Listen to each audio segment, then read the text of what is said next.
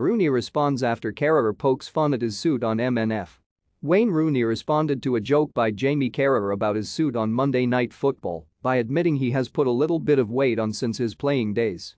The England and Manchester United legend and the current manager at Derby County appeared on Sky Sports Monday Night Football show this week alongside Jamie Carragher and host Dave Jones. Rooney was recently inducted into the Premier League Hall of Fame and as an image appeared on screen live on air, ex-Liverpool defender Carragher joked to Jones, was he inducted today? Jones quickly spotted where Carragher's jibe was coming from, saying because of the suit, as both laughed in the studio along with Rooney. The 36-year-old, who retired in January 2021, then explained why he was wearing the same suit on the night, there's a reason behind that. Obviously over the last year I've put a little bit of weight on, it's the only suit that will fit me at the minute. I have to get the most out of it.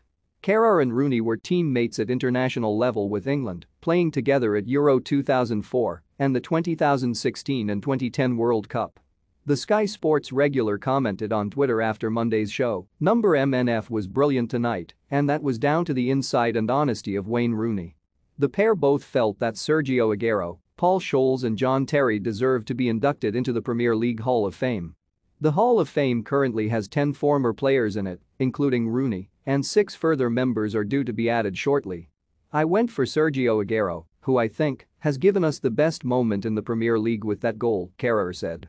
I then went with John Terry, who I've said for years is, in my opinion, the best centre-back in Premier League history.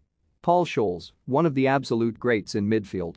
Rooney offered no arguments with those three selections from his fellow pundit. He said, the ones which are the same are Sergio Aguero, one of the best strikers the Premier League has ever seen. Paul Scholes, in my opinion, it should have been him and Alan Shearer, the first two. I went with John Terry also, Horrible to play against, dominant for so many years in the Premier League, Rooney went on to add.